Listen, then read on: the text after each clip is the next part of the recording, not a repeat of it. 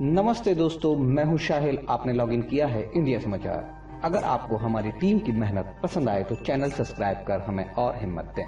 धन्यवाद। चूरू जिला मुख्यालय पर कांग्रेस नेता स्वर्गीय राजेश पायलट की मनाई गई पुण्यतिथि। देहात कांग्रेस कमेटी ने डाक बंगले में मनाई पुण्यतिथि।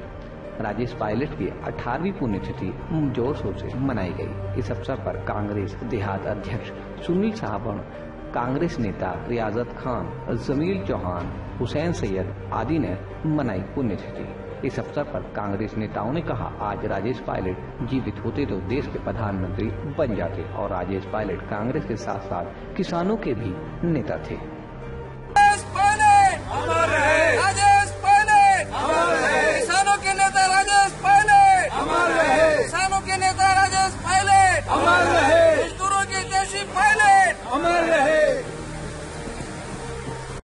बहुत ऊर्जावान थोड़ा ज़ोर से और दूरगामी सोच के नेता थे। हमें बहुत अफसोस है इस बात का। अगर आज वो ज़िंदा होते तो निश्चित रूप से भारत के प्रधानमंत्री बन चुके होते। उनकी जो काम करने की रुचि थी, वो गरीब के साथ, किसान के साथ, उसी परिवेश में ज़िंदा रह के वो काम करते थे। सादगी का उनका जीवन था। एक दूध बेचने वाले से उठ के वो इतने बड़े पद पे पहुँचे थे लेकिन कभी भी अपने बुरे दिन को भूले नहीं थे। मैं इस अवसर पर उनको नमन करता हूँ और उम्मीद करता हूँ कि पायलट सचिन पायलट साहब है उनके पद चिन्हों पर चल के नेतृत्व तो करेंगे और कांग्रेस को फ़ायदा।